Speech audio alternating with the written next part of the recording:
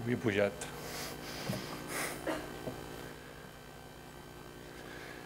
Bon dia, molt bon dia a tothom. Bon dia a Ricard Rafeca, regidor de Cultura, Montse Jové, Jordi Sánchez, Mael Güell, ponents que participareu.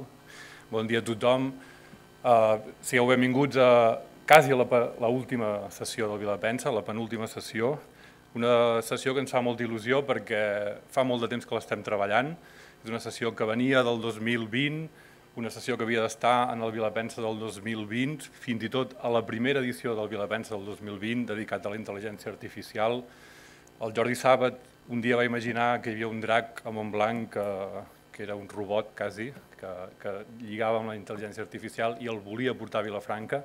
Aquest va ser el primer impuls per, per generar aquesta activitat d'avui, però aquest monstre o aquest bitxo que es diu Covid, si, si em permeteu, aquesta microbèstia va va ajornar també aquesta, aquesta activitat, però li ha donat un entretemps, li ha donat una entremaduració i els mateixos ponents que havien de venir avui venen i aquell tema s'ha convertit també en protagonista del mal. Per tant, avui tenim una activitat que lliga dos vilapenses i que el tema no, li dona un nou enfoc.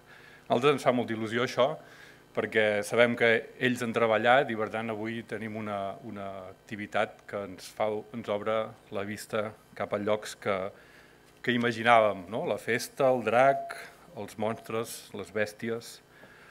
Uh, avui això funcionarà de la següent manera. Primer pujarà la Montse Jové, que ens farà una dissertació sobre el drac i el món, o el drac al món, amb una visió transversal del que és el drac des de llocs molt diferents i molt singulars i per tant ell ens proposa un primer passeig aquí dalt amb un munt d'imatges, un munt de paraules suggerents. Després pujaran el Jordi Sánchez i el Manuel Güell amb una conversa més dialogada, més, més eh, informal, quatre etapes, quatre temes que tornen a posar tema eh, al món del drac i per tant tindrem un acte amb dues parts. I a l'acabar ells pujaran i farem el torn de preguntes per qui vulgui doncs, estirar fils que han quedat pendents. Jo només vull recordar que aquest acte d'avui, dins del Vilapensa 2021, dedicat al mal dels innocents, connecta moltes coses que aquests dies han anat sortint, aquí, a fora d'aquí, i que crec que és important. Avui parlem del mite, parlem de l'art, parlem del símbol, i per tant aquest Vilapensa tenia també molt d'això, i jo crec que els nostres convidats avui també fan una síntesi i ens aporten molta informació que, que ha sortit tan, tangencialment aquí, però que avui la tornarem a recordar. Aquest acte lliga molt amb, amb la Ismena de la Fina Rius, aquell mite que ens va recordar ja fa quasi bastants dies.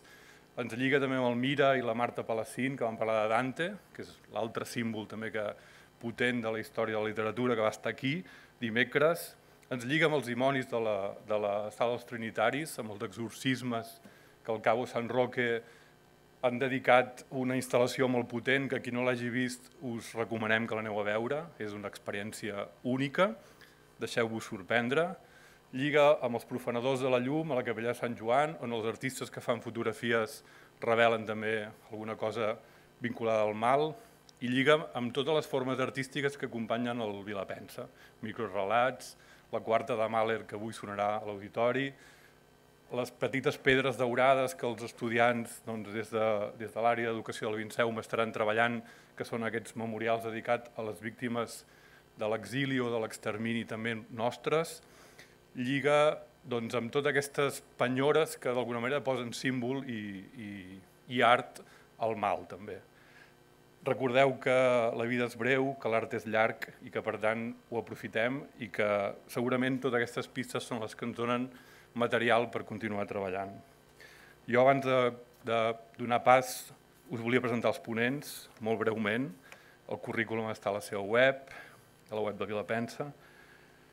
Uh, la Montse Jové és historiadora de l'art, molt vinculada a la nostra vila i a la nostra cultura, uh, professora de l'Arsenal, professora de la UOC i, i coneixedora de l'art no només del Penedès sinó del, del món i avui ho veurem i que a més a més la seva feina transversal doncs, toca molts temes i que el 27 per exemple li toca sovint perquè tenim un guió museogràfic on ella hi va participar.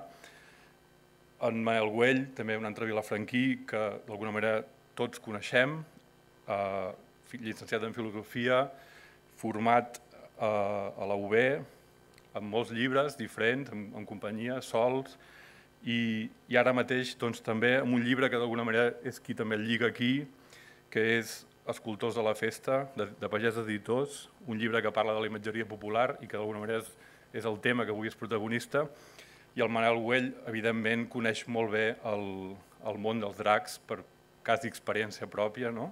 per la seva companya Dolors, i per tant els dracs són molt presents en la seva trajectòria i era evident que ell era una mica l'ànima d'aquest acte. I en Jordi Sánchez, que feia molts dies que volíem que vingués al Vinceum i avui també ha vingut, doncs, gràcies al, al Manel Güell i aquesta simbiosi, ell és professor d'antropologia i pensament contemporani, molt vinculat a la, a la Blanquerna, amb diferents àrees, i per tant el seu coneixement transversal permet també aquesta mirada perquè ell també trepitja la festa des de l'Arbós amb els Diables i per tant sap, sap què és ser no? protagonista de la festa i per tant aquests tres perfils molt diferents, molt vinculats a, les, a, la, a la festa nostra, són els que avui protagonitzen aquesta sessió que ens fa tanta il·lusió. Avui ja, jo no faig de, de recordador, però estem en època Covid, és molt important que els que esteu aquí eh, no es traieu la mascareta, que després eh, sortiu tranquil·lament i que en el torn de paraules ens aprofitem per fer-ho segur i, i que sigui fàcil. Res, que disfruteu molt, Montse Jové, t'esperem. Gràcies.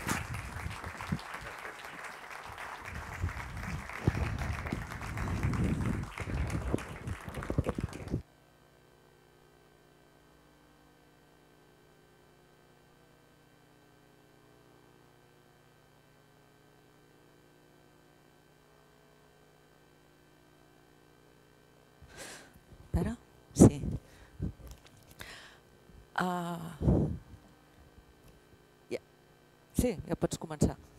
Bueno, hola, molt, molt bon dia a tothom. Gràcies, organitzadors de Vilapensa, per convidar-me. Gràcies, gent de Vinzeu, per acollir-me. Ginebra i Esther pels consells i també gràcies gent de Ràdio Televisió Penedès per fer possible la retransmissió en streaming d'aquest acte. A veure? Sí, funciona. Manel, Uh, uh, Manel, em vas encarregar introduir aquest debat sobre les simbologies del mal i que em centrés concretament en el drac com a representació del mal. Parlaré, doncs, d'aquesta figura dialògica complexa i arquetípica, el drac, com a representació del mal. I gràcies igualment a tu, Manel i Jordi, per haver pensat en mi, tot i que no sóc filòsofa, tot i que fa anys i panys doncs, que penso les imatges en les imatges i a través de les imatges, de fet m'interessen molt els seus ecosistemes i canvis, i estructuraré eh, la meva presentació en tres blocs, cada, cada bloc té dos capítols, que he anomenat així, Batu a l'olla, caso amb la mar salada, què hi fots aquí recony i cago en Déu on vas a parar. En el primer bloc veurem com molts imaginaris s'han servit del drac tant per figurar el no-res com per també enaltir el paper dels déus a qui s'atribuem o a qui hem atribuït la creació del món. I perquè en aquest context el drac és un sinònim del mal, un mal associat al desconegut, al tot està per fer, l'entropia. No? En, el segon, en el segon bloc trobarem primer el drac en mites i històries que re relaten la conquesta, fundació, civilització d'un lloc on poder estar-nos-hi, ser i ser-nos, on el mal que el drac representa és l'inhòspit, la natura indòmita, que ens amenaça la domus, eh, la cultura solcada cop deixada. I seguidament ens centrarem en les relacions de domini i les imatgeries del drac, el drac que en passa homes i devora economies, el drac com a símbol de subversió social, corruptor de normes, models i morals, i per això també farem un incís en la il·lació dona-drac, mal. El darrer bloc eh, anirà de scissió, de categorització i absolutisme, on el drac serà una de les cares de l'antinòmia, no? bé mal, i tancarem doncs, amb, bueno, amb, amb els imaginaris de la confusió i el reciclatge. Eh? D'aquí aquesta adaptació del vers de, de Verdaguer. Uh, de fet, les imatges... A veure... Sí. Ah, que, que em moc massa. Vale, vale. Vale, les... Bueno, sí? Les imatges són el moll de l'os de la presentació les acompanyaré jo, no elles a mi, amb comentaris i reflexions. Um, M'he d'afanyar perquè mm, n'hi ha moltes, les mostraré molt ràpid, però he passat un, un enllaç als organitzadors per, per si després algú li interessa veure-les amb més calma. Bé, a partir d'ara tinc eh, poc més de mitja hora per exposar-vos tot això. Ai, sí, tinc aquí la pantalla. Vale.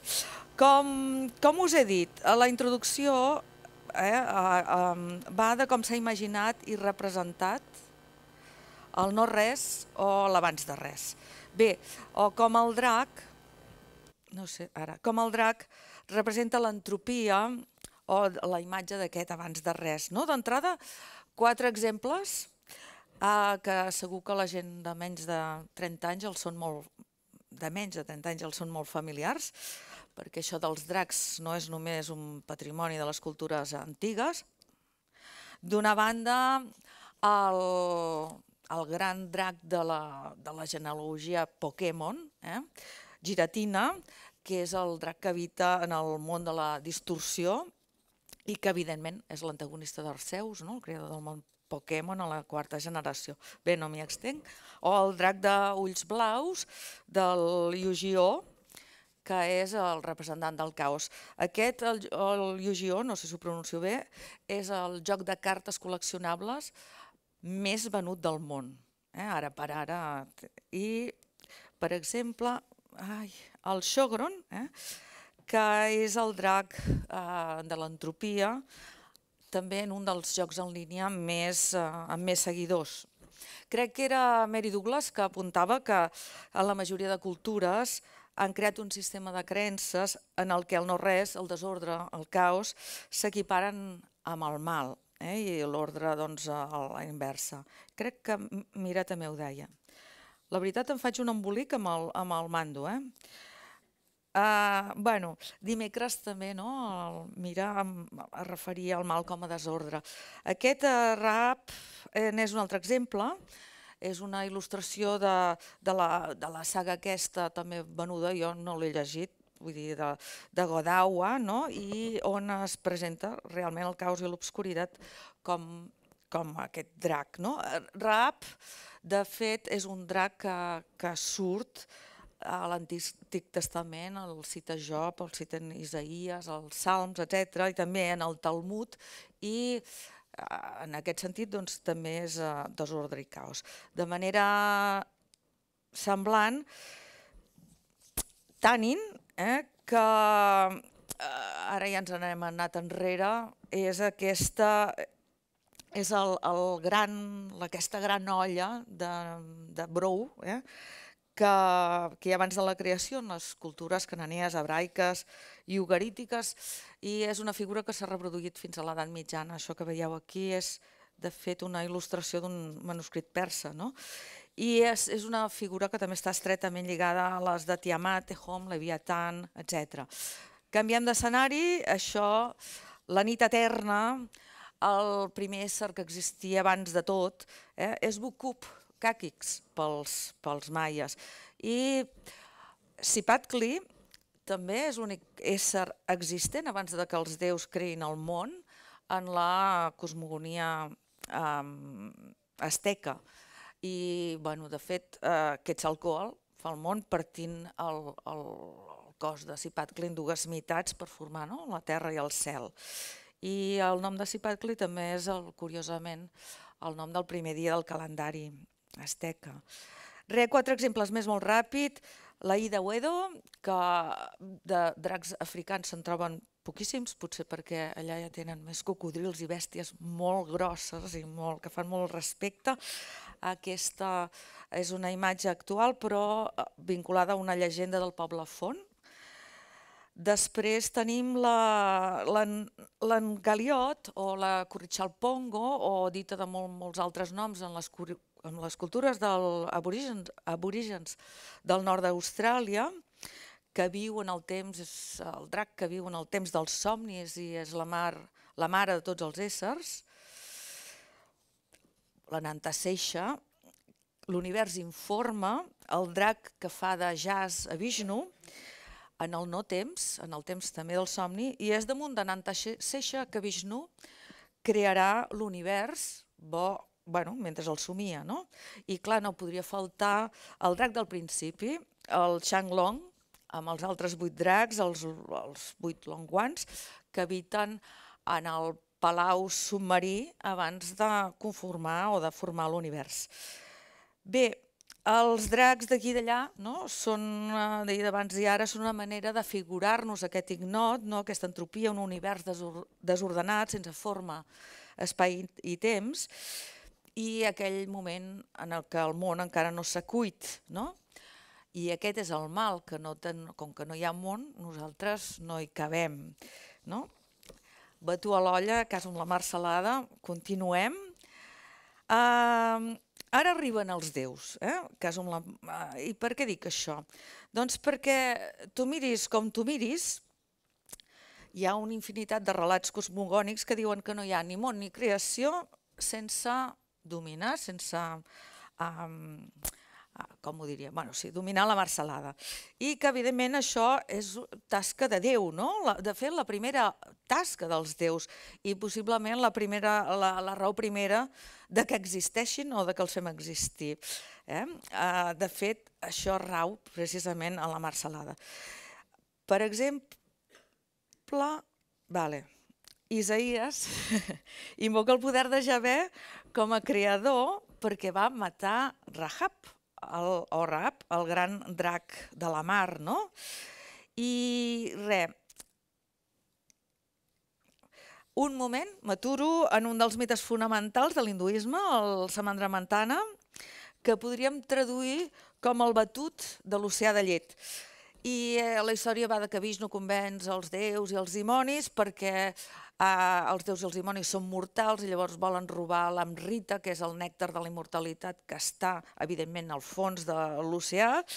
I per fer això, eh, diguem-ne, per, per obtenir aquest nèctar, van haver de moure una muntanya, enroscar-hi el, cargolar-hi el, el drac aquest Bazuki i estirant el Bazuki eh, va començar, es va, van començar a batre l'oceà i d'aquí diguem-ne, van sortir éssers meravellosos, com ara, per exemple, la deessa, la Baruni, no? que és la deessa del vi, o la vaca sagrada, i després tots els altres éssers. De fet, per mi això és la imatge d'una gran palla, no? però de fet de la, de la, de la, d'això, el primer que es crea és la Via Làctea. Vale. Um, què hi té a veure tot això amb el mal? Què té de dolent imaginar com s'ha creat el món?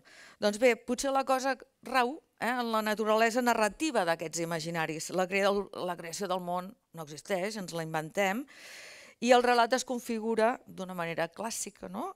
amb un protagonista, un déu per exemple, amb un objectiu clar, fer el món, i perquè la narració sigui viva doncs, hi ha d'haver un conflicte, obstacles, impediments, confronta, i per això i afegim un antagonista. Evidentment, el dolent de la pel·lícula, val? El, el mal, el mal és el mar i el mar és el drac. O també ho podríem dir en femení, eh? la mar i la drac. Uh, a veure, aquest drac de la mar contra el qual bueno, el, el prota farà el món el trobem en molts llocs, té molts noms, aquesta és una llista curtíssima, i eh, eh, també, o sigui, quan parlo de la mar salada o de l'oceà primigeni, també podríem, hi ha cultures que ho, associen amb els rius o amb els grans llacs, etc. No? De fet, la, la cosa és per això és que es coincideix en que tot eh, pren forma de drac. També molt ràpid, aquesta és una fotografia del, del Mokele Membe, que és també el drac que controla el riu eh, Congo, eh? i eh, sempre doncs, hi ha la tradició de, si es veu, no? una mica com el, que la cosa del, del, del drac del llac Ness.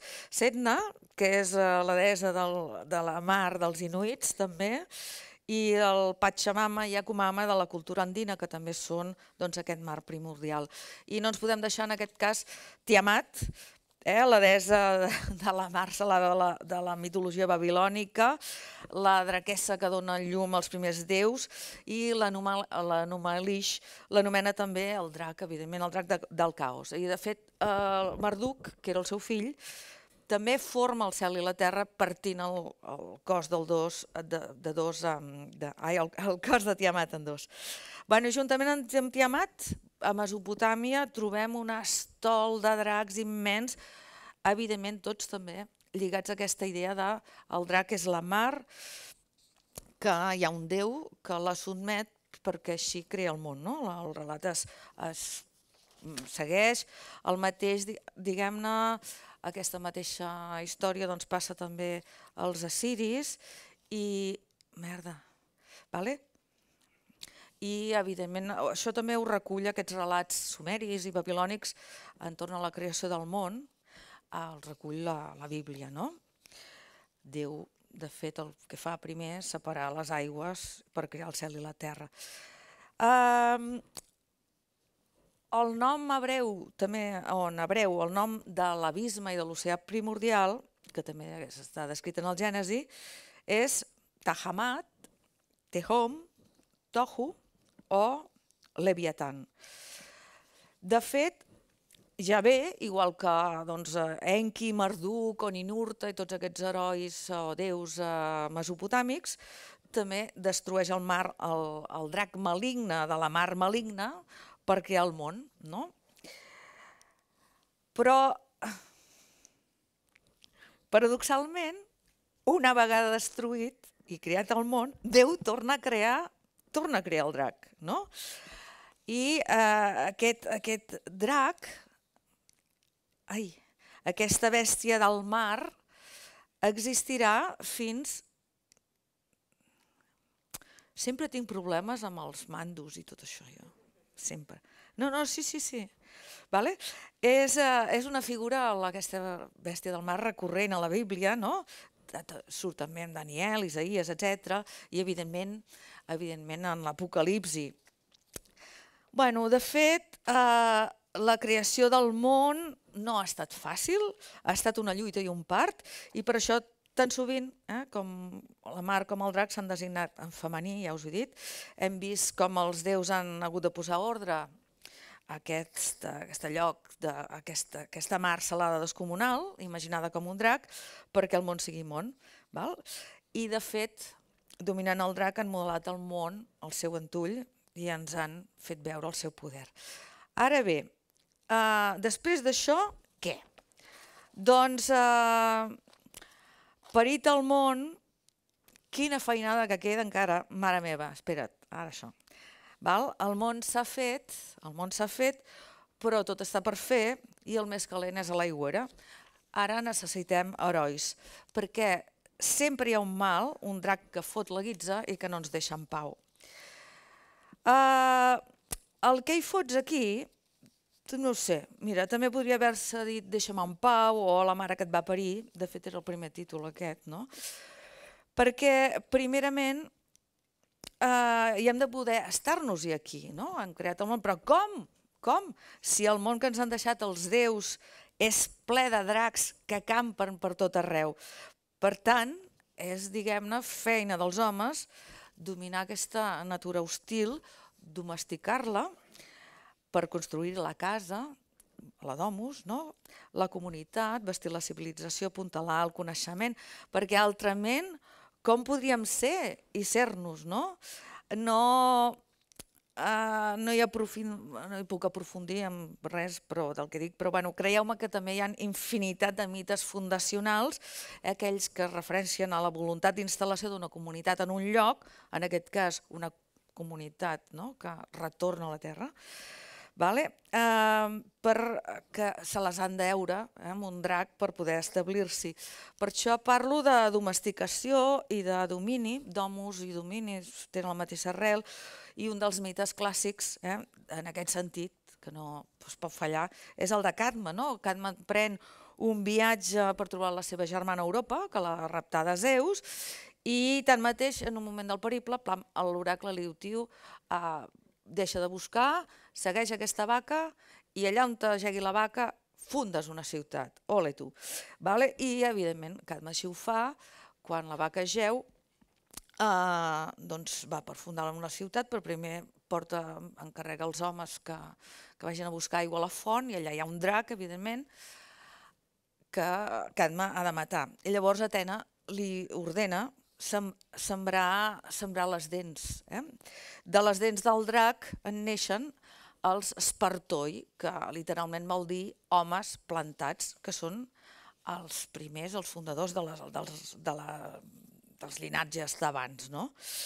I eh, bueno, històries com aquestes que representen Down del drac, representa un mal, un impediment per assentar-se en un lloc, per estar-hi, no? un poble, una nissaga, n'hi ha també a patades.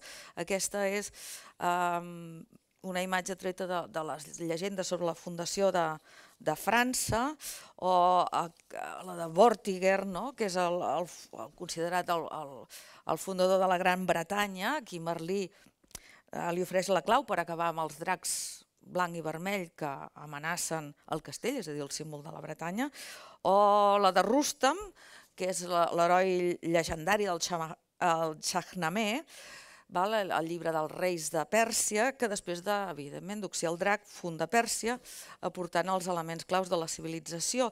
O... Ai, a veure... Ja sabia jo que aquí...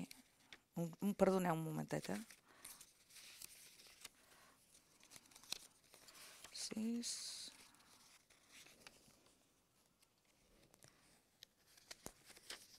Bueno, se m'ha saltat una pàgina, però bueno. O, per tant, haig de mirar sense xuleta. O, per exemple, aquí que tenim Sant Marcel, no, que foragit el drac que empastifa les aigües del Sena, perquè si no a París no s'hi pot viure, o el mateix passa amb el Granollí, que és el drac que empodegava la sell eh, a Metz i que pues, Climent no, també el foragita. No? Hi han infinitat eh, d'històries de dracs, ai, de sants i dracs, eh, que empodeguen les aigües. De fet, el drac per moltes cultures és, uh, és un element positiu no? per aquesta vinculació que té les, amb les aigües, però en d'altres casos, eh, precisament perquè ens roba l'aigua, que és el recurs necessari per poder ser i estar-nos-hi, doncs eh, se'l considera un mal. Bé, un mal que normalment eh, acaba eh, eh, Ah, mira, veus? Ah, sí, vale. Que normalment doncs, eh, un heroi mascle acaba eliminant. Val? bueno, eh, una vegada hem acabat amb el drac, l'hem fotut fora, no? Eh, sembla, s'ha fundat el lloc i sembla que el drac ja no tingui més raó de ser, ja no hi hagi mal, però no, no és així, no? Perquè eh, el drac sempre torna o sempre hi és, i sempre potser haurem de dir què hi fots aquí, no? De fet, eh, torna vestit amb l'hàbit de nous desordres, no? I de fet és el drac que temptarà ara economies, que corromprà l'ordre social, que subvertirà l'ordre moral i evidentment aquest drac s'imagina com un devora, devora homes, no? on passa homes, o bé una força molt poderosa. Aquest és el Bixone, eh, que és, és aquest, aquest drac, el símbol dels esforça, que eren tots, totes aquestes coses no són forces poderoses també. Bé, Uh, oi que us sonen els dracs aquests, les històries de dracs ben gerramats, en passa collites, demana sacrificis, etc, de vora homes i rapta princeses? No n'explicaré cap, val? però sí que podem rumiar o podem pensar quina mena de mal projecta el drac en aquestes històries. Què hi fot aquí el drac? A qui devora? a qui amenaça? Qui és la víctima del drac? Tot i que ben mirat, potser també podríem plantejar la pregunta a la inversa. De què o de qui és víctima el drac en aquests relats? Podria ser que el drac fos la víctima? Podria ser que el drac fos l'innocent? De fet, uh, uh, aquesta és la qüestió, no? Um, de, a veure... Sí. Uh, sí, en aquesta narrativa, no, dels, dels, en aquestes narracions dels menjar ramats en passacollites de homes i rapta princeses, que algú encarrega i que evidentment algú paga trinco-trinco, el drac no reflecteix allò que pels trinco-trincos i billo-billos, em refereixo als que trinquen i que tenen el billo, que és el garrot, ara no sé què he fet, val.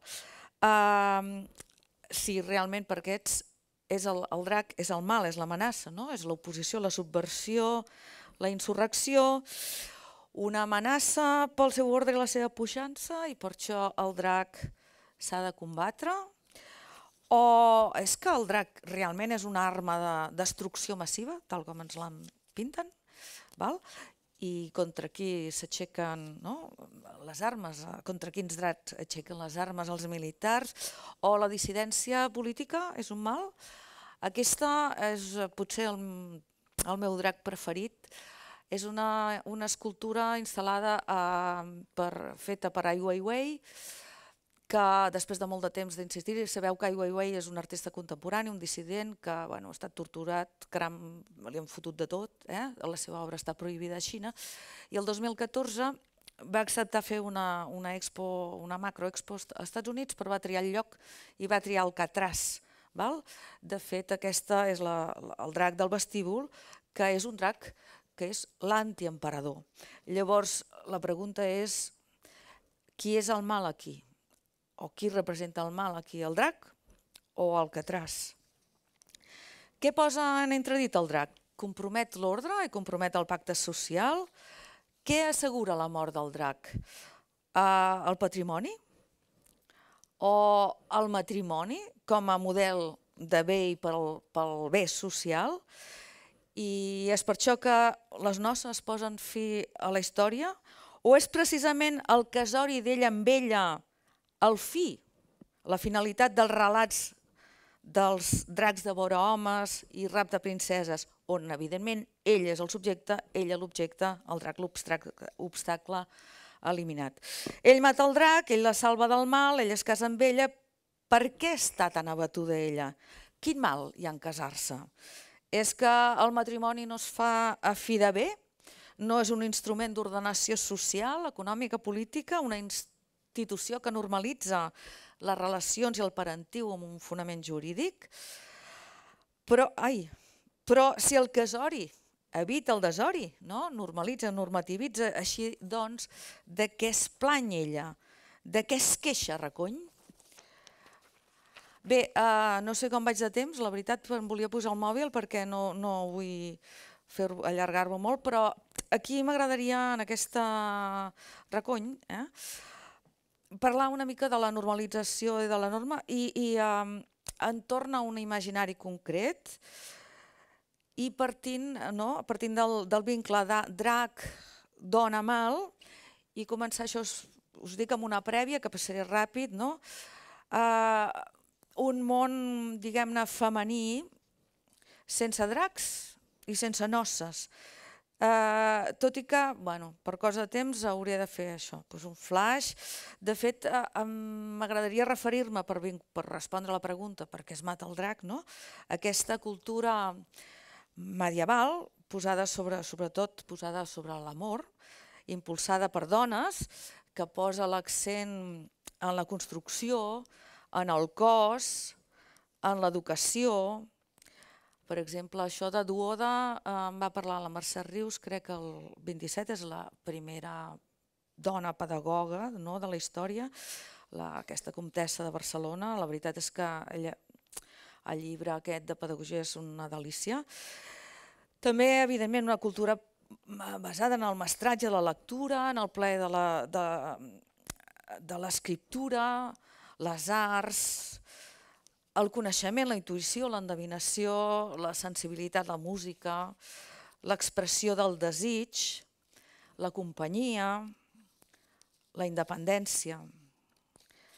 Bé, i doncs on és el mal en tot això? Doncs també s'ho preguntava Cristina de Pizzano a començament del segle XV. Potser és perquè el mal és allò que uneix les dones o el mal és allò que simbolitza el femení, que representa les relacions fora de norma i del normal, que ataca el model etèrio. De fet, reprenc el fil eh, que he deixat abans, eh, del que hi fots aquí, allò del patrimoni i del, matrimoni, per què ell ha de matar el drac? Bueno, el drac és l'amiga. De fet, eh, l'amiga o, per extensió, totes aquelles relacions fora, no normatives, fora del matrimoni o contra el matrimoni. No? Fixeu-vos en aquesta llegenda que he passat fa un moment, a Montsel de Zig, Uh, el drac és la companya, també pot ser la mare i l'amor, el secret, el saber, el sexe prohibit, o, evidentment, l'amant. No? Aquesta, la, la llegenda conta que, que Nec de Veu, que va, diuen que és el darrer faraó d'Egipte, es va convertir en, en drac per seduir Olímpia, així que Alexandre Magne bueno, no era fill de Filip, sinó d'un drac, que era Nectaneu, no? Eh, i, i eh, fruit eh, d'una relació monstruosa extramatrimonial. Val? El monstruós, evidentment, és allò que està fora de la norma, ho diu des d'Aristòtil, Isidor, bueno, eh, aquesta és una cita de Casanef, vale? i les relacions monstruoses consideren sempre impures, pernicioses, especialment eh, entre dones, no? que aquestes han estat sempre un tabú, això és una, són imatges de la xarxa, on sovint això es banalitza o bé s'infantilitza completament, no? per treure-li fusta. De fet, eh, pels, pels, pels voltants de 1300 o de 1300 en endavant, es va engegar una ofensiva per assentar un model familiar i conjugal nuclear, Eh? Primer per això es va passar, es va agafar el model familiar de l'edat mitjana, que era molt més extens, i es va crear una figura que avui és poc coneguda, que és la de la Santa Parentela, però després ja tenim tota la difusió iconogràfica eh, de, la, de les sagrades famílies que, que té lloc doncs, sobretot a partir del segle XIV, XV, XVI, etc. Val? De fet, doncs, aquest, aquest model jeràrquic eh, centrat en la figura del pare, eh, que s'acabarà instal·lant de tot a partir del concili de Trenta. Per tant, si ella té una amiga, ella té un amant, ell no es pot casar amb ella. No? Per tant, el drac s'ha de, de matar. Val? Punto.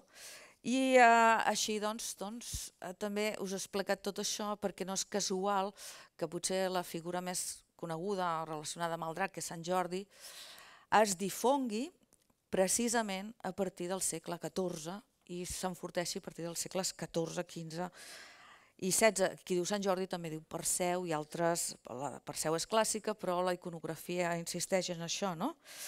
De fet, eh, Victoria Cirlot eh, apuntava doncs, aquesta, aquesta relació entre eh, la, aquesta, la, la relació entre el drac i la princesa, no? I aquesta també mm, vinculació no? de, de, del, de la representació, del tabú de la representació de les relacions entre dones, que no, no han de ser precisament sexuals, i, i deixi, per això he posat la paraula amiga. Eh? De fet, eh, aquí tenim uns altres Sant Jordis, la dona és un mal i una vegada diguem-ne ja tenim això sentat, també eh, tot el que és femení no? està en aquest triangle, la dona eh, és, és, mm, fa por, no sé per què, eh?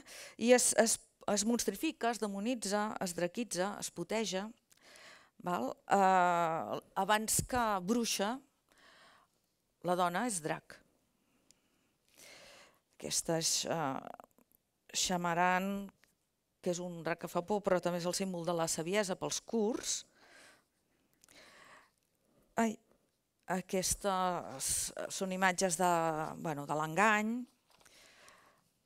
de la ferida, no? un drac ferint, atuint un home, una dona drac, o, per exemple, la dona és drac, en aquest cas doncs, hi ha totes les llegendes de les melusines, o totes les versions de les melusines, que és un exemple no? d'aquesta pol femení, qui té sort de casar-se amb aquesta fada ho té tot, ella només li demana a l'espòs que durant una setmana al mes o tres dies al mes no entri a la seva cambra, si plau, val? però clar, què fa ella? Doncs ell vaja l'espia eh? i en el compliment de la seva promesa doncs al final ho acaba perdent tot.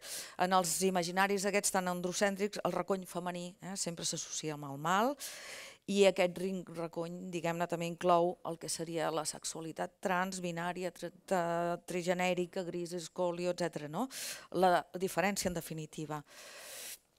I aquesta diferència fa por perquè és un drac, eh? i eh, es castiga.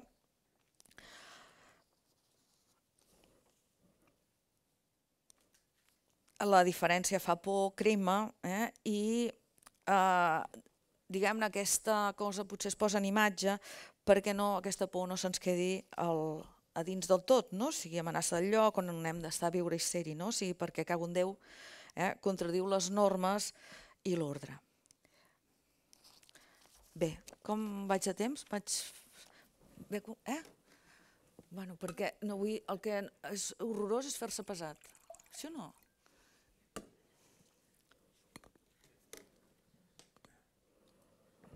Vale. Bueno, anem tancant la cosa. Aquest penúltim capítol va de dialèctica, decisió, de categorització. Els dracs que hem vist fins ara al·ludeixen o simbolitzen un mal, eh, com una figura associada al desordre, allò desconegut, etc. hem vist com es contraposa la norma. Tanmateix, tots aquests dracs potser ens deixen una escletxa pel dubte, per la reflexió, no són alhora també una barreja de beneficis i maleficis, no? la seva imatge no, no ens produeix significats ambigus o canviants i tot hora és dolent allò que representen. Eh, bé, tant el bé com el mal és, són, ja ho sabem, una realitat sobre la qual no s'ha deixat mai de pensar-hi, ni, ni tampoc s'ha deixat mai de representar. No? Per exemple, aquí en la bona persona de Cesuan, Brecht planteja que la bondat no és una qualitat per, permanent i inalterable, sinó un desafiament que es veu permanentment qüestionat des de fora i només es pot abordar des de la malícia i Brecht fot un cago en Déu perquè els déus que encomanen exercir la bondat a la puta xenter són uns integristes de qui t'espero. O a Ànima, Mouawat mostra el mal perquè sí, no? la, la de raó del mal en aquesta novel·la monumental, el mal que exerceix qui es creu innocent i que recau realment sobre els innocents. No? Uh, Mouat no contraposa el bé i el mal, eh, els interroga, igual que fa Brecht. Però eh, deia que hem vist el drac com un mal, però no hem vist encara el drac com a mal, com el mal, eh? com a, en, el, en un sentit absolut i categòric. Quan i com es construeix aquest significat unívoc en la imatge del drac?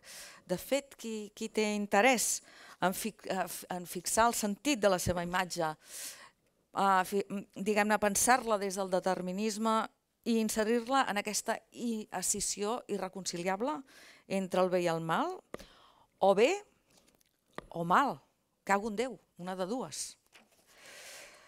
De fet, això podríem, uh, res, molt ràpid, Plató planteja, planteja aquesta sessió en el, en el Fedre, en la metàfora del carro alat, on te parla de l'ànima humana, que on ja doncs, l'ànima humana està estirada per la porta una, una àuriga i està estirada per un cavall blanc, que és el bé, i un, del, i un altre negre, que és el mal.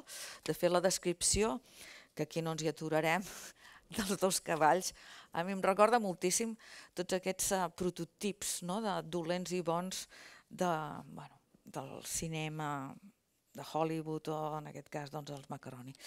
Vale?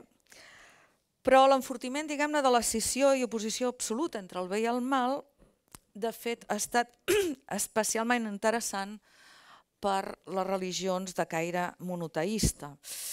De fet, segons Gilbert, Gilbert Duran, la narració dels monoteïsmes es fonamenta sobre l'antítesi, l'arquetípia i el simbolisme d'allò que ell anomena el règim diurn de l'imaginari, que és esquizoide de mena, no? categòric de mena. Sí, no, dia-nit, blanc-negre, eh, llum-tenebra, aliat-enemic, eh? cavall blanc, cavall negre, heroi-monstre. De fet, no és... Eh, no ens deixa escletxa pel dubte ni per la reflexió. Déu és el bo i l'enemic de Déu és el mal. Val?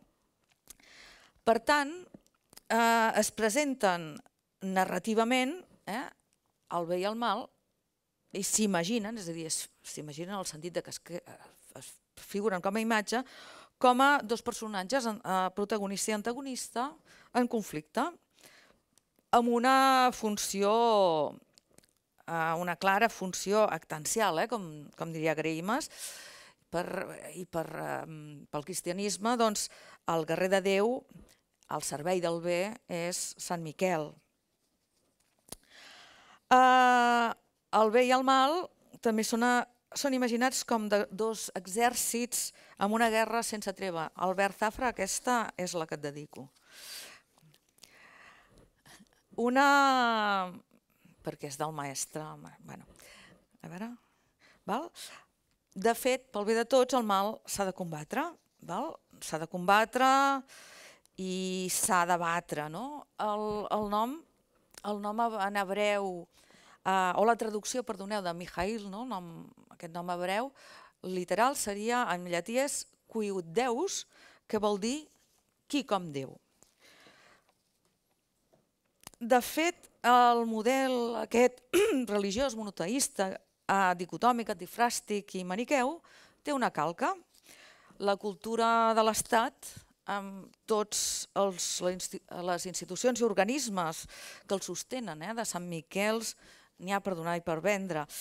I un exemple és també el trobem, no? aquesta calca de l'Estat potser ens ve de Hobbes, eh, on en el Leviathan, curiosament, no? com per què tria aquest títol, eh, Hobbes eh, fa una, una, una defensa cèrrima de l'estat absolutista com a marc del bé comú i del pacte social. No? Ai. De fet, els monoteismes i monoarquismes religiosos o estatals són per naturalesa absolutistes i categòrics de mena. Eh? Converteixen el, el mal i el bé en categories, els conserven com absoluts i se serveixen d'aquest cisma per construir-se, per constituir-se i sostenir-se. O bé o mal, me cago en Déu. Eh? Potser un dels paradigmes més clars i rotuns d'aquesta... Veieu, no? Escissió eh, d'aquesta absolutització del mal, la trobem en el llibre de les revelacions, en el judici final, el relat apocalíptic no, atribuït a Sant Joan, que insisteix, eh, com també insisteix Hobbes i Carles III i Felipe VI, que al final tothom serà jutjat i eh, que aquell que no ha fet bé, perquè ha fet mal, no se salvarà, on vas a parar? Eh? A l'Apocalipsi el mal pren forma de drac, eh? bo i s'entronca amb el Leviatan de l'Antic Testament, el que hem vist abans. Ens hem referit diverses vegades a Leviatan, una entitat simbòlica que amb diferents noms, figuracions, està clarament vinculada als imaginaris del mal. Leviatan és el principi i és la fi, eh? i també la imatge del on vas a parar, el cap, eh, on vas a parar al cap i a la fi per fer mal o per ser un mal. I on vas a parar? Ai, vale. el Leviatan no? i tota la colla de dracs germans, tota la colla de, de, del que dracs germans simbolitzen, eh, ens porta, o ens portarà de pet a la gola de l'infern. Val? Això és una mostra ràpida de boques de l'infern, evidentment, com veieu, representades per un drac.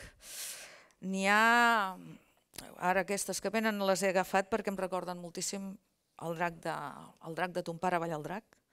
De fet, el meu pare el va ballar bastant de temps. Boques de l'infern. Dracs, que són boques de l'infern.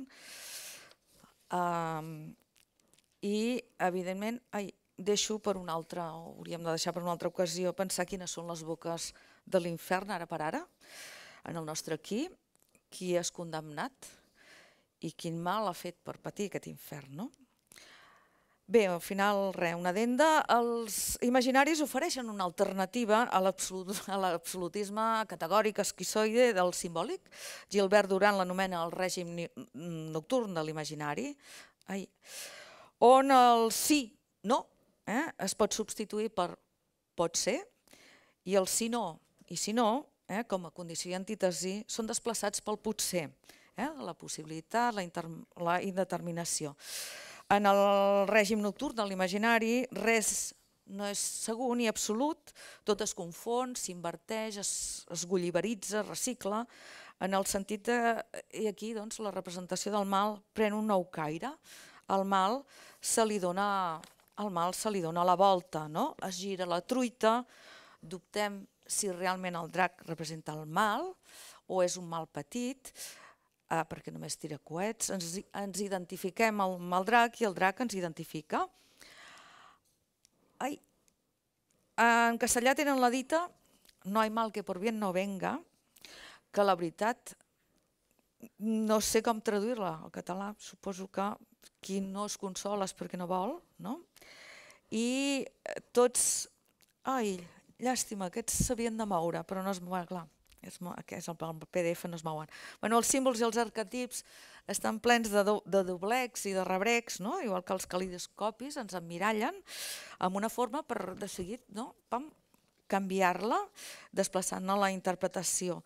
El drac és una imatge del mal, però també ho és de la festa, que és un desordre petit, on el, el mal es dissol, s'inverteix, es recicla, només és una carcassa, de fet aquestes són la majoria de la Dolors, és un símbol també del ser, del ser-nos i estar-nos-hi. I tot acaba on comença, batu a l'olla. Doncs res, moltes gràcies.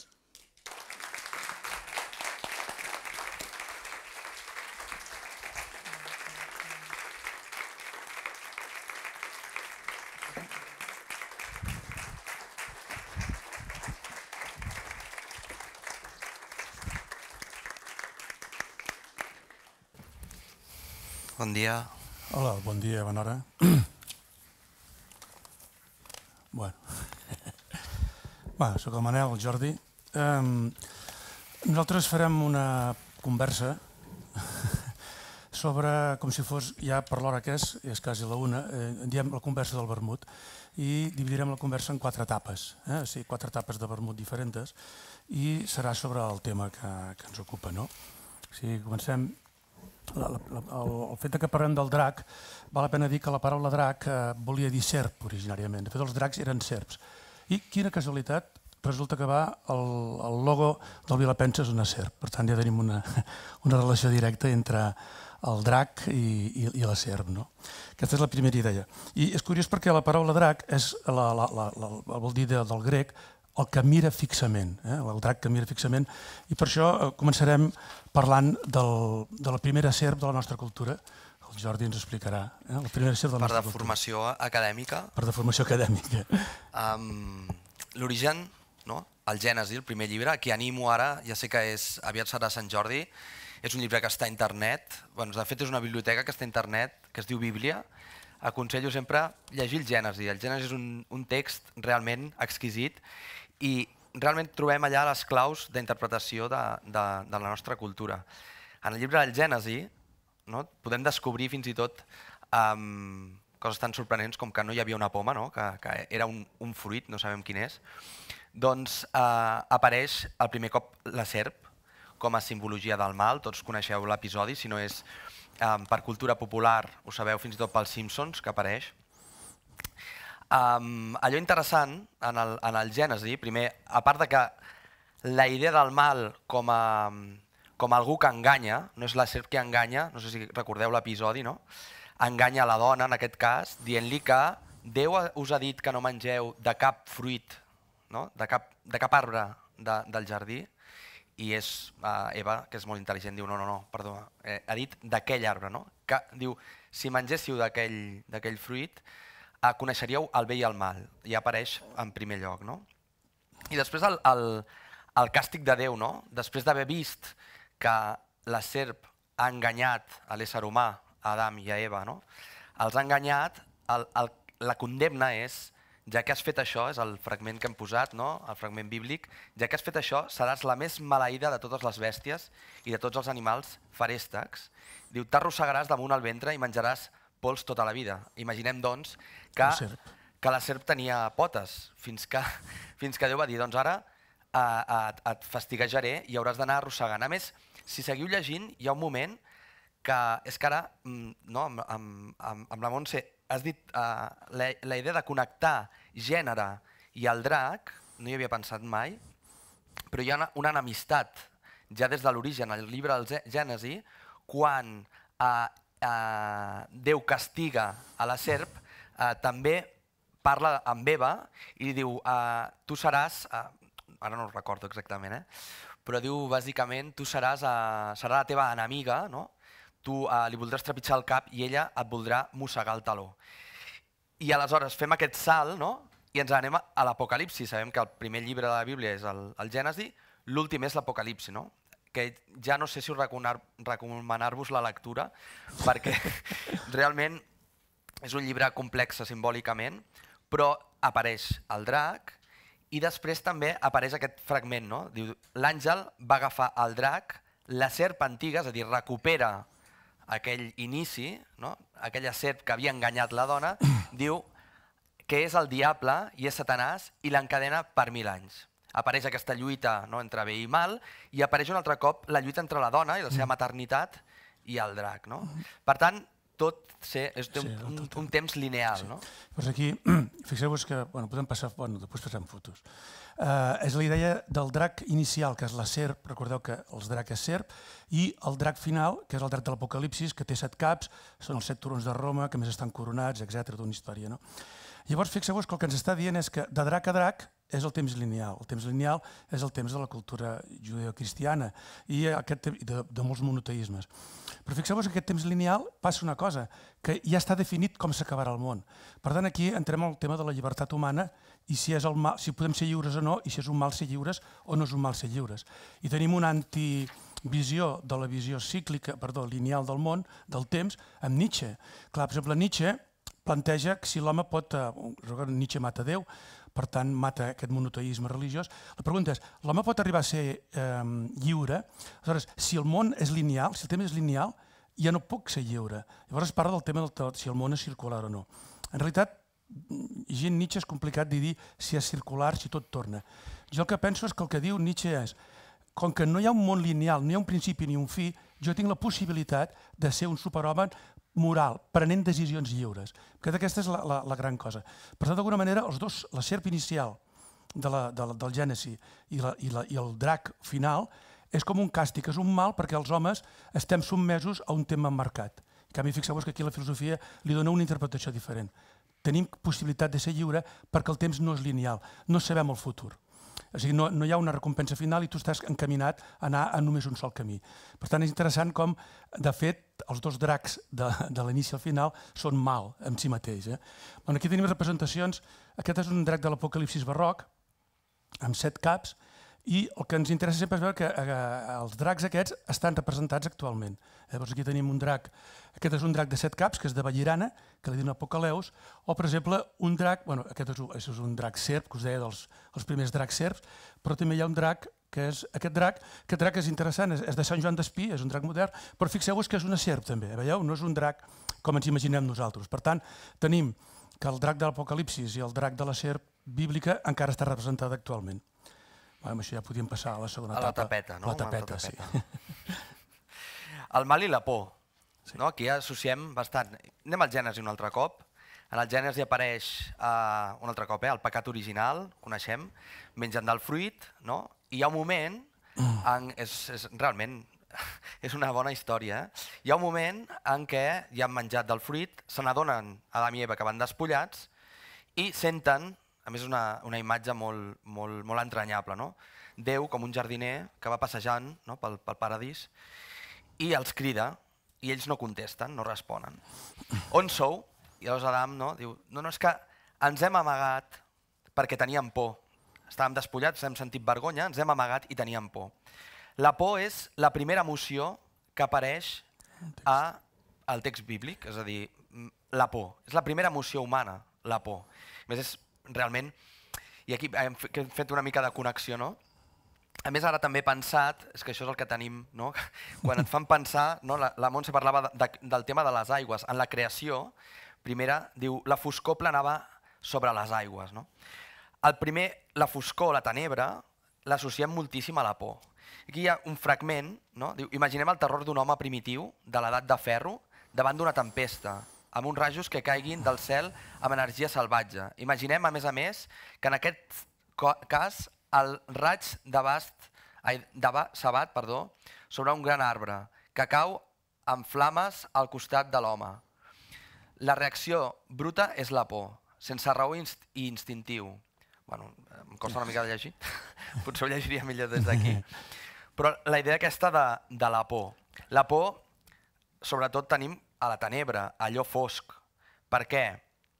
Perquè és allà on som vulnerables. No? La realitat és allò desconegut. Es, nosaltres, diguem-ne, estarem d'acord o no, però que l'ésser humà, en general, el, som homovidents, no? el, el, el sentit primordial i el que donem més importància és a la vista. Clar, quan ens tanquen les llums, no? la foscor, no saber, la realitat queda borrosa. I aquí entra el desconegut, la por, el mm. monstre i la vulnerabilitat. És a dir, quan no tenim visió ens sentim mm. sí. vulnerables. No? A l'associació del drac sí que vam... Sí, va lligat amb la por i faré una mica de classe de ciències molt ràpidament, que veieu aquí, perquè fixeu-vos que el mal ens fa por, si tenim por al mal. O sigui, de les pors, un és el mal, qualsevol tipus de mal. I curiosament tenim por al drac, que és el símbol del mal, que és el tema. Pues, per recordar ràpidament, sabeu que l'organització del cervell humà té com tres estructures cerebrals m'interessa molt la primera. La primera es diu el cervell rèptil o paleocòrtex. Fixeu-vos, cervell rèptil, serp, rèptil, eh? el mateix, que és el cervell bàsic dels mamífers i d'altres animals, que és la vida, la sexualitat, el menjar, el dormir, la supervivència. És, és, és, un, és una estructura cerebral totalment que no podem controlar, és totalment autònoma i és la base de la supervivència. Aquest cervell rèptil, en aquest sentit, per sobre, els mamífers, només els mamífers, van crear una, desenvolupat una segona estructura, que és el cervell emocional. Aquí és on tenim la por. I per sobre tenim el cervell racional o neocòrtex, que és la intel·ligència, el llenguatge, la voluntat, etc. Però fixeu-vos que, per tant, tenim que d'una estructura de supervivència per sobre han creat això que en diem l'emoció de la por. I la por no és res més que una, un mecanisme de defensa per sobreviure. I evidentment està clar que molts avantpassats nostres, gràcies a que tenien por a enemics reals, podien, van poder sobreviure. Sense por no podrien viure. I ara això ho lliguem amb la por que generen els dracs i els diables a la cultura popular. D'alguna manera, fixeu-vos que els nens petits eh, primer tenen por el, el drac. I tenen por, i ploren, i els coets, i fugen. Molta gent que no ho ha vist mai tenen molta por. A vegades, precisament, mira, aquí els, els de l'Arbós un cop van anar a Lisboa amb el drac i la gent es va, es van, van començar a apretar a córrer quan van veure que sortia el foc. No? Per tant, és, és una emoció bàsica, elemental per la supervivència. I curiosament, aquest, la por al mal, què fem a nivell de festa i a nivell de... Intentem, per superar aquesta por que tenim, ens hi enfrontem de manera simbòlica. Recordeu que el drac és un símbol de la, del mal i un símbol del por. I què fem? Juguem amb el drac i juguem amb els diables, que va lligat. Però fixeu-vos que és curiós que per superar aquesta por al mal que fa el diable, que fa el drac, ens hi posem a sota. Un nen petit té por, quan els pares veuen que ja s'hi acostuma, no, i quan tindrà 15 o 16 anys es posarà a portar el drac o es posarà sota el foc. Ha superat simbòlicament aquesta por, aquesta por al mal, jugant-hi. I aquesta és una, és una manera de que emocionalment equilibra aquest desig entre acostar-se o no acostar-se a la por que va lligat amb el tema del Eros i el Tànatos. Sí, sí, no, no, l'altre dia vam estar xerrant abans, evidentment, i, i estàvem dient aquesta atracció que també podem sentir per la... Pel mal. Pel mal. L'atracció pel mal, eh? L'erotisme del mal. Tenim un erotisme, jo crec que, que està bastant comprovat, no? perquè esta, és aquesta tensió que, que Freud parlava de l'eros i el tànatos. No? L'eros, la, la pulsió de vida, de construcció, que apareix també en diferents religions, per exemple en l'hinduisme, però també el tànatos, no? l'atracció per la mort, per allò prohibit, no? que al final també és, torno, eh? Adam i Eva és aquella prohibició la que ens atrau. Clar, no tindria gràcia moltes coses, moltes, molta interacció que fem amb la por, com deia el Manel, no? Aquest, aquesta mena de joc, inclús la, els contes que se'ls explica als nens a partir del drac, el papu, etc etc, que és una mena de... Eh, d'entrenament emocional. D'entrenament emocional, sí, sí. homeopàtic, per, per uh, aconseguir que el nen aconsegueixi doncs, lidiar amb aquesta por. La superació de la por, en el fons, um, és necessària per la superació de la por un cert joc, un cert ritus iniciàtic sí. amb la por. I parlàvem l'altre dia, no? els castells, no? Allà que estem a Vilafranca, no? Uh, tindria gràcia sí, si... I vam dir la paraula, eh, amb això de l'erotisme de la por, i els castells tenen un risc, i, i diuen, és que fan trempar els castells, això és una cosa que diem a Vilafranca, no? Fixeu-vos que quina relació directa hi ha amb el vocabulari de fer trempar els castells quan sabem que els castells tenen risc. Si els castells no tinguessin risc, no sé si hi haurien castells. I aquí homenatge a ell que és diable de l'Arbós, la carretera de l'Arbós, a nivell de seguretat, a Europa els matarien en tots, perquè és un risc bueno, hem parlat, absolut. No? A Suïssa eh, havíem d'anar, o amb la llei del foc, els que estigueu en el món dels, dels diables folklore, hi ha molts llocs a Europa que evidentment el que es fa, el ball de foc, el, això és totalment... Eh, eh, Me'n recordo que deien esteu bojos, esteu bojos, no? em mirava amb cara d'esteu bojos, i dic no heu vist ni la carretillada ni el ball de foc, ja, no? el tema de, del foc, però el foc crema, el foc té un perill i al final la por, la, la, diguem-ne que n'hem parlat eh, aquests dies no, en el Via Pensa, al, al final la por màxima és a la mort, és a la vulnerabilitat del cos, de, de que ens facin mal, cos, ànima, però que ens facin mal. No? Fer-nos mal, al final és, és el mal major és eh, el sofriment i la mort. Clar, eh, aquí hi ha un joc eròtic se'n diu, no? Els castells amb xarxa i tots amb arnesos, no té gràcia. Els, els correbous sense que et pugui enganxar i et pugui fer mal, no. Els diables sense que et, puguin, que et puguis cremar. Aquí hi ha un joc amb la, amb la por i un joc amb el drac. I el que deia no el Manel, necessitem tocar el drac, no? Necessitem sí. fer aquest joc de proximitat, distància, no? de, el, el nen petit, que és toco la por, ara que està apagat, després m'allunyo, hi ha un cert sí, ritual. I això es nota molt quan, bueno, com que hi, hi cita moltes estrenes de dracs, és molt interessant el fenomen d'aproximació quan el drac és nou. Perquè el drac és, és estrany, la, la novetat és la por, el diferent, per tant tenim una por. Llavors hi ha com una relació curiosa, dialèctica, entre que primer hi ha com un distanciament, una separació. Quan crema, tothom apartat. Però llavors hi ha una necessitat molt curiosa de fer dues coses, d'acostar-s'hi, veure la realitat d'aquell mal, que no, no deixa de ser una escultura de fibra de vidre, sobretot quan està quieta i no es mou, i quan eh, tocar-la. Això és molt interessant. La gent la vol veure, la vol tocar. A vegades ara últimament es posen inclús focus, com que es fa de nit, perquè la gent pugui veure bé, bé la peça. No? Llavors hi ha aquest diàleg de, entre por, eh, atracció i rebuig. Atracció i rebuig. No? I això és una, un fenomen molt interessant que tenim, penso, amb tots els mals. Tots els mals els rebutgem, tots els mals ens atrauen. I sabem que per superar aquest mal ens hi hem d'acostar una miqueta en el sentit de que hem de passar per aquesta experiència iniciàtica. I jo penso que llavors aquí intervé el servei racional que li diu l'emocional no estan preocupant, no et preocupis. Ves sota, ah, això sí, posa't cobert, ves, no vagis amb fibres, ves amb, amb cotó.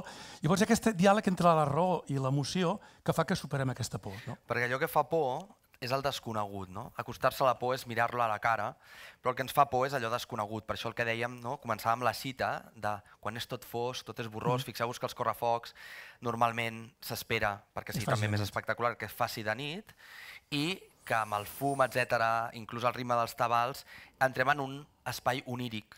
No? És com un somni, eh, el ball de foc o qualsevol... No? Quan, quan a més és, és continuat, eh, és un ritme fins i tot, eh, diguem-ne, sembla un... Sí, és un mica de mantra, de És un mantra de, de, de ball, de foc, d'espurnes, etc etc. allà queda borrós, no? és, un, és una mica un somni, els que us heu ficat també a sota en un correfoc heu pogut tenir aquesta experiència, i alhora després no, el, el, el tocar, i és un risc sense risc. No? I això bueno, ho havíem comentat i ho havíem vinculat moltíssim, inclús amb l'erotisme, amb allò prohibit, no? a la, la calarra de Cervera, sí, d'allò de, de tocar aquells temes de l'erotisme, l'erotisme d'allò que eh, ens fa por, no? És el, mm. el morbo, dit en, en termes sí. més, més col·loquials, no? Allò prohibit ens atrau. Val. De fet, d'alguna manera, amb aquesta imatge, quan, això que veiem, que és un, el, clàssic, aquí veiem els tres serveis funcionant a la vegada. Eh?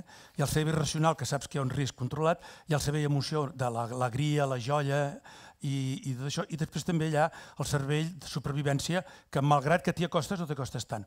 A nivell emocional és molt interessant perquè amb trobades com aquestes i amb coses així la gent acaba, gent adulta, acaba plorant, no? plorant, jo els he vist, he vist draguers estrenant un drac o, o diables plorant físicament, és a dir, fixeu-vos com hi ha aquesta emoció i plorant també perquè d'alguna manera han superat aquesta por al mal que està personificada en aquest cas amb els coets.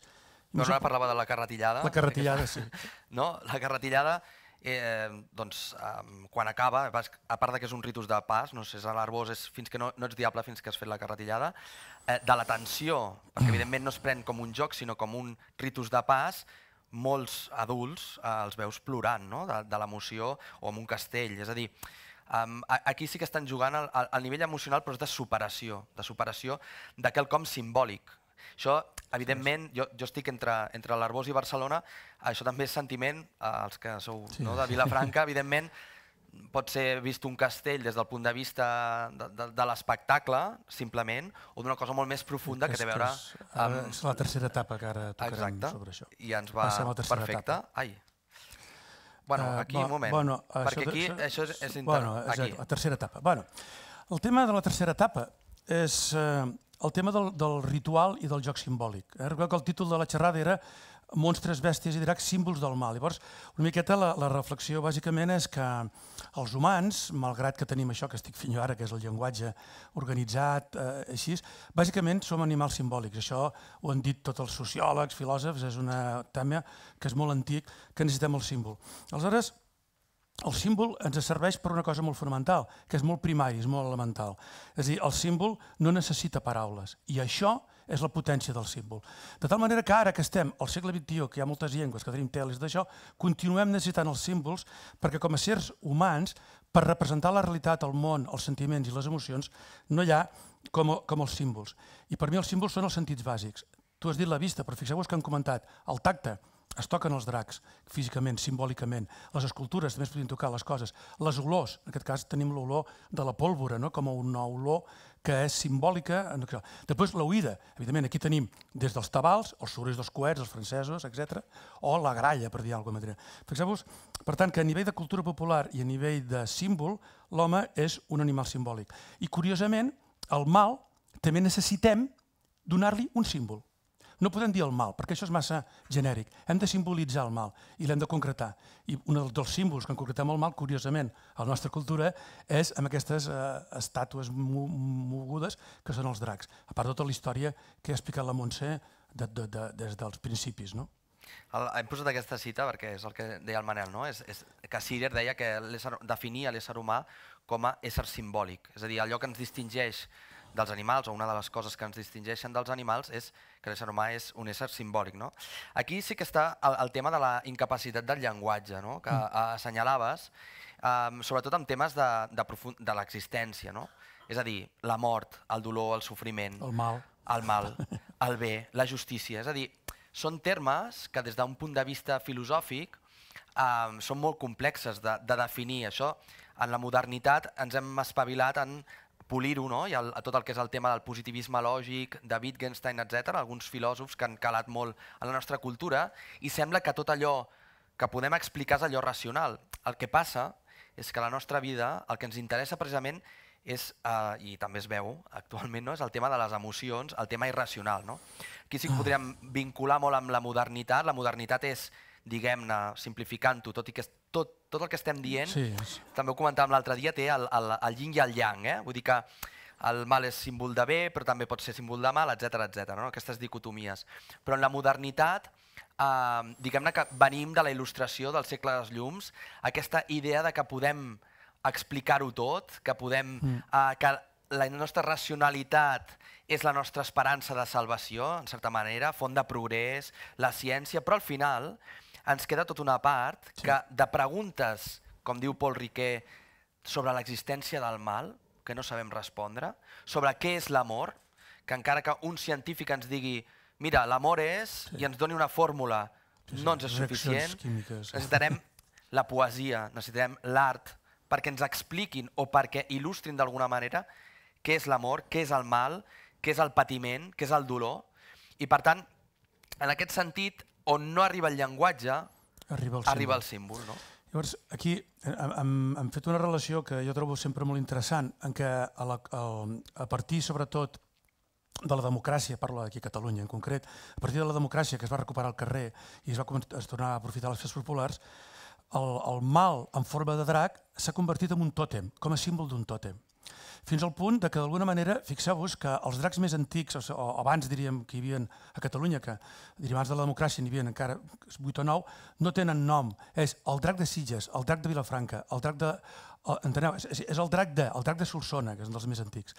No tenen nom perquè és el tòtem de la ciutat.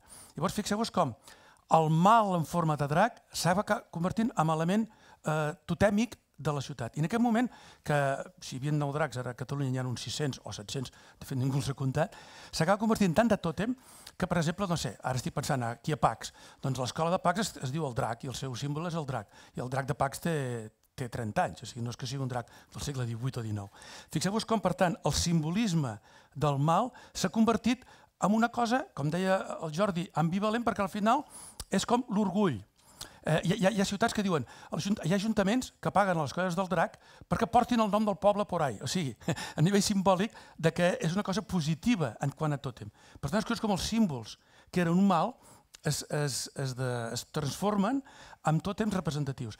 I en aquest moment, a Catalunya, a part dels castellers, que està molt famós, jo diria que i, i la segona grup social d'unió d'identificació són les colles de geganters i les colles de diables i dracs, que n'hi ha moltíssims a Catalunya que donen identitat a barris de Barcelona, a ciutats eh, de, de tot arreu, de tot, tot Catalunya, això que ara hi ha dracs a tot Catalunya de nord. Quants dracs vas dir que hi havia? Bueno, a, exactament no se sap, però jo calculo que hi ha uns 600 o 700, i de bèsties que no són gegants, segons uh, un, un historiador, uns mil i pico a Catalunya, de les quals la majoria tots són dels últims 30 anys. No? I aquí eh, una, una, una idea interessant d'això és que fixeu-vos en, aquesta, en aquesta imatge, aquest és un drac que és un esquelet, eh? és de Parets del Vallès, li diuen la bèstia, la paraula és curiosa, la bèstia li diuen. Forma part de, bueno, I aquest drac, fixeu-vos que és l'esquelet del drac. Fixeu-vos d'alguna manera, com si d'alguna manera diem ens fa por el mal i ara ens vengem del drac que és el mal i el deixem als ossos. Mai tan ben dit, perquè en aquest cas és, estan als ossos. No? Com simbòlicament. I un altre símbol molt interessant del mal és aquest. Aquest és un drac molt interessant, és la filoxera de Sant Sadurní. Bueno, les filoxeretes, n'hi ha 30, aquestes filoxeretes. Fixeu-vos el detall totèmic i simbòlic. Què és el pitjor que ha passat a la història recent a Sant Sadurní i al Penedès? La filoxera. Què fan quan després, just després de la democràcia a Sant Sadurní, busquen un element totèmic, identificació de la ciutat, del poble? Agafen el pitjor mal, la, la bèstia de la filoxera. Sabeu que a part d'aquestes 30 filoxeretes petites, n'hi ha una gran que fa 5 metres. No? I en aquest moment, a Sant Sadurní, pel que em diuen els de Sant Sadurní, si hi ha algú aquí que em corregeixi, la festa clau que identifica Sant Sadurní és la festa de la filoxera, que realment és molt interessant, si mai us interessa. Hi ha gegants, hi ha moltes coses. Com agafem el símbol del mal i el convertim en dolent, com aquest, però al mateix temps és un bé, perquè evidentment després de la filoxera Sant Sadurní, com sabeu, li van anar molt bé les coses. No? Bueno, i també el, el, el tema aquest, no estava pensant ara, el tema de que tothom ha de compartir un signe, un símbol, perdoneu, i que ha de ser intergeneracional, que sí. ho hem d'entendre entre tots. No? També la, la, la Montse parlava d'aquesta fragmentació que hi ha de l'espai sagrat. No? Sí. La festa és un espai separat, sagrat mm. vol dir separat, i en aquest espai és on la, la filoxera o, o, oh, o, o els dracs, dracs, el mal té un espai. No? És una, és, diguem-ne que és una apropiació que fa el, el, el mal de, de, dels carrers eh, on passem la nostra vida diària i quotidiana. L'espai profà que diu Elíada. L'espai profà, l'espai... És a dir, són el, el, la, la potència, sota el meu punt de vista, de, dels signes, de, dels símbols del mal, és aquesta capacitat Mircea Eliade, que és un, és un filòsof que parla molt del tema del sagrat i el profà i del, de, de la simbologia, és aquestes hierofanies, en diu, no? que és connexions de eh, un objecte mm, concret que es pot tocar amb una connexió amb un món transcendental o un món espiritual o una idea molt profunda com és el mal.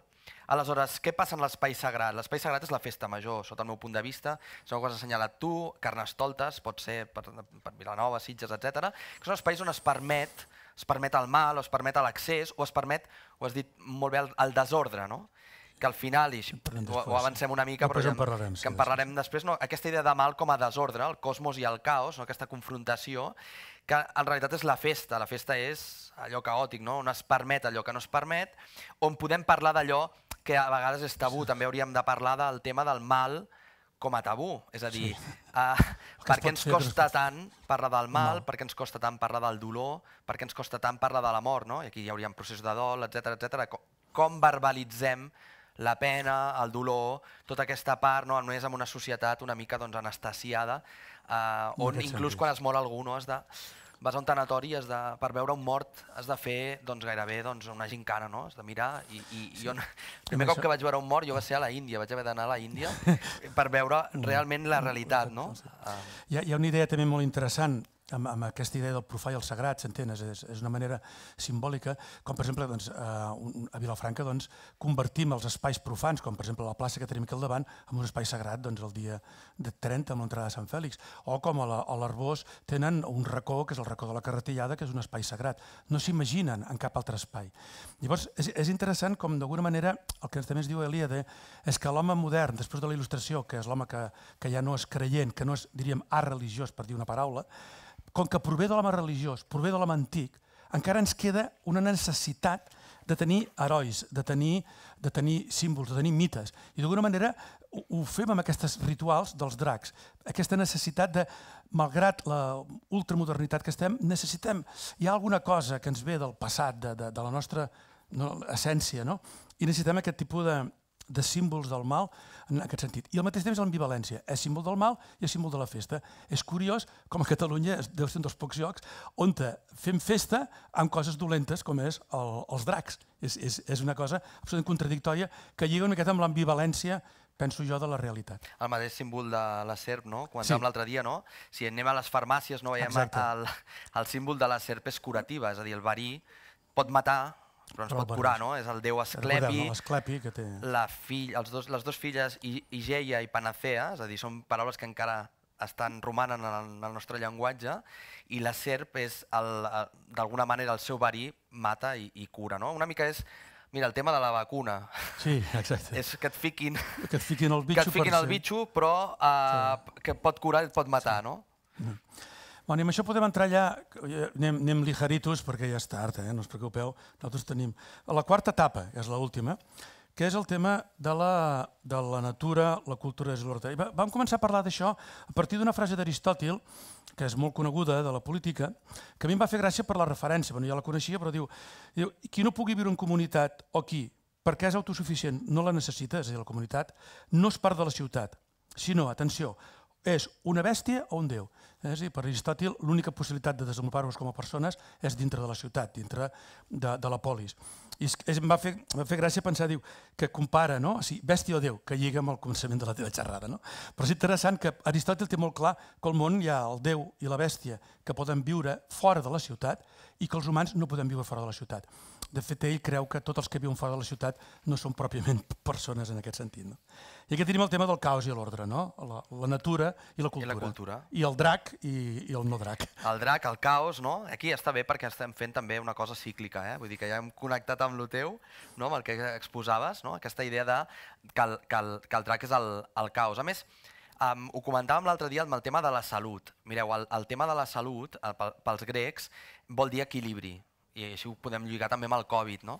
El nostre DAC actual doncs, seria una mica el Covid, el que ens fa por, allò desconegut, la bèstia, el monstre, que, aquell diferent, etc. El que està fora, extramuros, en, en la ciutat grega, la polis, és l'estranger, diguem-ne, és el que ens fa por perquè és el bàrbar, perquè, eh, perquè és diferent a nosaltres, perquè és desconegut, no el coneixem. No? Eh, comentàvem l'altre dia amb el tema dels quatre elements, sí. no? doncs que el, en, en la cultura grega i el, el concepte de salut va lligat als humors, que en diuen. No? els humors. Eh? Estic de bon humor, estic de mal humor, ve d'aquí, no? que són uns líquids que tenim al cos. Quan hi ha igualtat, es diu isonomia, això vol dir que els humors estan equilibrats. El grec, el tema de bellesa, el tema del bé, sempre és, en general, equilibri, equilibri harmonia, simetries, etc.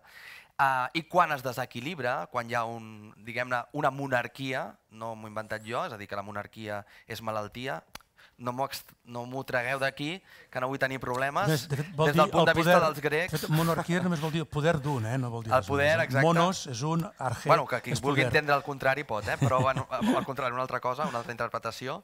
Uh, Diguem-ne no, que el símbol és, uh, és ambivalent i en aquest cas, uh, no perquè parlava, dic, em podeu malinterpretar, però la monarquia és la malaltia, en el sentit de que un dels Molt, humors, humors domina els domina altres. Els altres no? sí. Aquí estem parlant del, del caos, malaltia, és a dir, el que desestabilitza és mm, bàsicament el, la predominància d'un per sobre els altres, o podríem unir el tema de l'absolutisme, de com hi ha representacions de quan hi ha un poder, un emperador, el mateix Apocalipsi que està escrit en resposta a al moment on hi ha un, un tirà és el mal, la monarquia, i on hi ha aquesta associació del el mal del cos associat, o sigui, el concepte de salut, amb el concepte de salut social. És a dir, que l'harmonia, això que estem parlant a nivell micro, no? el cos, mm, que tenim és, els humors que són equilibrats, a, també s'espera a nivell macro de la societat, no? que és, el grec... És, és la polis. Ah, exacte, que sí, és l'equilibri, sí. la justícia. I és interessant perquè l'ordre en grec és el cosmos, és interessant el cosmos i el caos. El cosmos és l'ordre. D'alguna manera la polis és un cosmos ordenat, organitzat. I, i quan dèiem aquí monarquia o, o, o quan ha sortit la paraula isonomia, nomos és la llei, la norma, isonomia, la norma per tothom. Aquí ve la justícia, la democràcia també. No? Llavors, què passa amb el drac i el mal? És just el contrari. De fet, mmm, jo tinc uns amics que són de fora de Vilafranca i els convido sempre a la festa major i estan espantats. Diu, a Vilafranca sempre sou així. Dic, no, no, a Vilafranca som així a la festa major perquè és just el període de la nostra vida, com Vilanova Carnaval, per dir alguna cosa, en què tanquem la norma, en què la gent va, mm, es passa la nit sense dormir, empalmant, en què en lloc de viure a casa es viu al carrer i només es va a casa a menjar el, just corrents per tornar-hi i quan els explico que, que des de les, mm, que es comença a les 9 del matí, dos quarts de 10, d'això fins a les 12, hi ha actes, no ho entenen. Diu, sempre teniu actes? Dic, sí.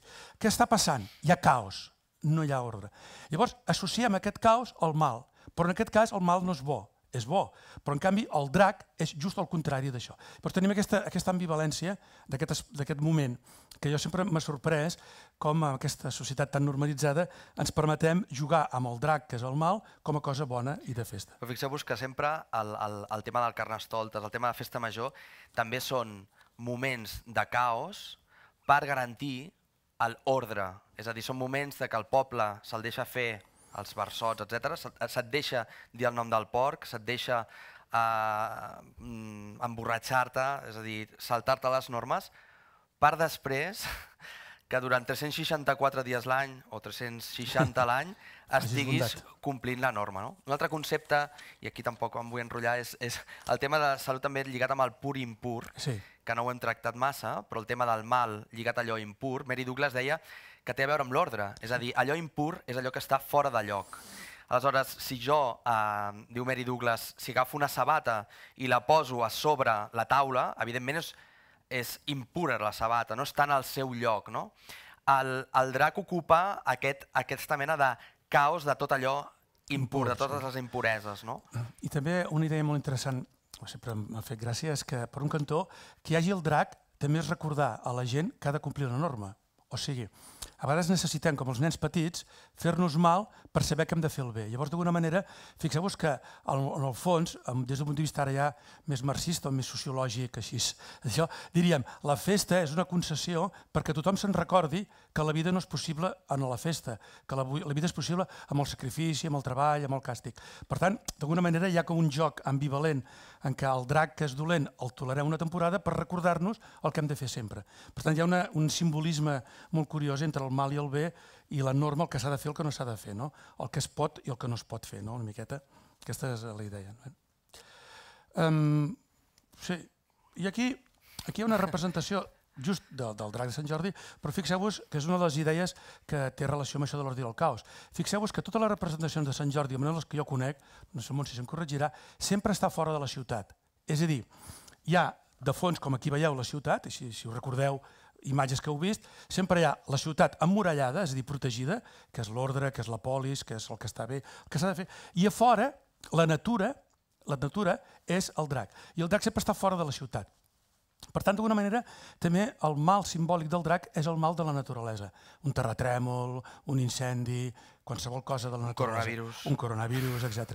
Llavors, per això, el drac, el drac simbòlicament a la nostra cultura, té aquests elements de la natura. Ara representa doncs, que té aigua, que, que per això té escames, a part de l'origen, tira foc, que és un altre mal, vola, perquè que és l'aire, i té potes, que toca terra. Una miqueta són els elements d'Empèdocles. Llavors, d'alguna manera, el drac és la natura, que està fora de la polis i ens hem de recordar que és el nostre mal. I d'alguna manera, si observeu què ha sigut tota la civilització, tota la cultura, almenys a Occident, un domini, un control de la natura. És a dir, un domini, un control del drac simbòlic. El que hem fet ha sigut posar preses pels rius, eh, posar-nos coses per les pluges, etc. I malgrat aquesta mena d'esforç no, de controlar el drac, que és el mal, la natura, tots ho sabem, fa de les seves. No? Uh -huh. bueno, i aquí hi ha i per, per acabar, ja perquè tenim més coses, ho deixem, eh, han fet una cosa que m'ha fet gràcia i vam estar parlant tots dos, que és curiós que al final, per què necessitem el mite del drac? Per què necessitem dracs de fibra de vidre, de cartró pel carrer? Per què necessitem ritualment, simbòlicament, reconvertir l'espai profà en espai sagrat? Jo penso que, encara que tinguem un dron a Mart que, i un helicòpter que es veu que volarà, el 5G, transportem òrgans, jo crec que al final el que ens passa és que som humans, com els nostres avantpassats, som porucs, necessitem mites, necessitem coets, necessitem rituals, i d'alguna manera penso que en la nostra inconscient i en la nostra personalitat el pensament mític i simbòlic el necessitem. I per això, eh, en aquest moment, a Catalunya, us puc dir, perquè això ho he estudiat, és l'època històrica en què hi ha hagut més dracs parlo de, de dracs de poblacions de tot arreu. I us he dit que malgrat el Covid, pel que jo sé de gent que es diu construir, la cosa va més. Per tant, jo penso que el simbolisme, aquesta necessitat de personificar el mal, un mal que, que viu amb nosaltres, forma part de la nostra pròpia essència com a persones, eh, més, més íntima, més profunda, com a sers humans, diríem, amb tot el que seria bueno, tota la humanitat passada de la qual nosaltres ens som hereus. No? Llavors, Bueno, no, simplement uh, remarcar aquest tema de vulnerabilitat, que és el, el que penso que, que va de la por, eh, i ara també pensava que m'he deixat, evidentment, que hem parlat de, de Hobbes, no? I de, ah, sí, etcètera, bueno, etcètera, que la por també doncs, pot ser una font de, de, de control. Estem junts perquè volem, no? Uh, això és, Hobbes i Aristòtil són contraris, no? Sí. Uh, estem junts perquè, perquè volem o perquè tim, tenim por dels altres, no? Hobbes el, el que hi ha al final de, en realitat en la seva obra és aquesta idea de que estem junts perquè tenim por, no? I Aristòtil seria doncs, el contrari. El contrari sí. Bueno, doncs ja està.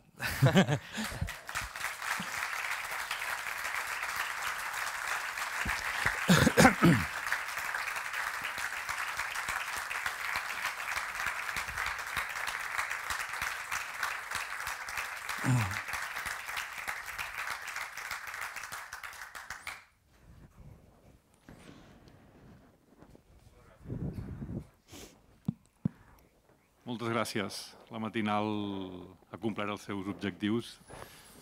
Tenim moltes ganes de festa i de carrer, de vi i de continuar alimentant el mite. No sé si... No tenim molt de temps perquè s'ha allargat i heu, heu portat moltes pistes, moltes imatges, moltes paraules, però potser hi ha algú que vol afegir alguna cosa, una pregunta breu, algun comentari. Ho faríem ràpid i seria una manera també de cloure quasi la setmana Vilapensa.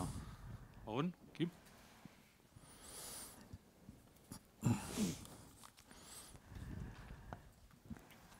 Bueno, moltes gràcies. um, la meva pregunta és una mica per lligar el que tots tres heu dit. Um, primer la Montse ha començat parlant um, sobre uh, la relació que hi havia entre el drac, el mal i les dones i després han estat parlant sobre les festes majors I bé, m'agradaria preguntar especialment a la Montse què en pensa quan eh, festes majors a baix eh, relacionats amb el mal, diables, drac, eh, se les dificulta a les dones o en alguns casos se les prohibeix ballar, com crec que és el cas de l'Arbós. Tu calla, no diguis res. No diguis res. Bueno, què, què vols que pensi? De fet, de fet això és, una, és un mal endèmic que no només passa a les festes majors, passa Ja, a tot, no? I a la festa major, doncs, Ja, no ho sé, però una, hi ha molt poques dones i hi ha molt pocs, eh, no hi ha xinesos, no hi ha eh, equatorians o i equatorianes, sí, sí, no hi ha eh, amasics que ens ballin, no? I no sé, no Home, sé si està sí, bé o no. Jo diria que no. Vull dir que, eh, clar, qui ho regula això? Hi ha, hi ha una, un, per consolar-te, encara que sigui molt poca cosa, actualment els dracs cada cop es fan més lleugers i mm, tècnicament no hi ha cap problema que pugui portar un home o una dona per allò que es deia abans, no? que era cosa d'homes portar dracs, com els gegants, que ara es porten homes i dones perquè pesen poc. És una petita comentària, no té, no resol res, eh? però bueno, és una, una possibilitat de millora.